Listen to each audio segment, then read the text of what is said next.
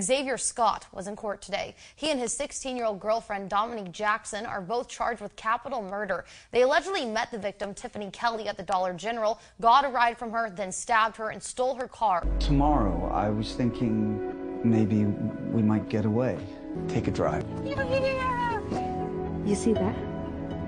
I claimed it. For us. It's perfect. Frank, you always underestimate me.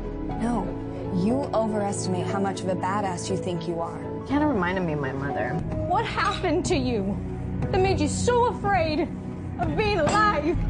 Ah, that's him. Joseph. Why did you choose me, Celice? I always suspected their love was formed by a sustaining wave of some kind. There's still time for us. And death's smudged gray conspired to find the silver in between. They were in their 80s. They were found shot to death during a January 5th break in at their home in Kentwood, a crime that terrified neighbors. Now, Higgins is also being charged with home invasion for that break in and using a firearm in a felony. Is that instead of helping to save Christelle, the motorist live streamed the accident on Facebook. Look what happened to me, he tells his Facebook friends. A car crossed in front of me.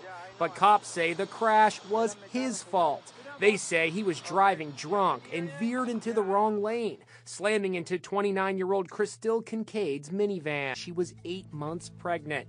Doctors performed a C section to try to save the unborn baby, but it was too late. The baby was laid to rest in Christelle's arms.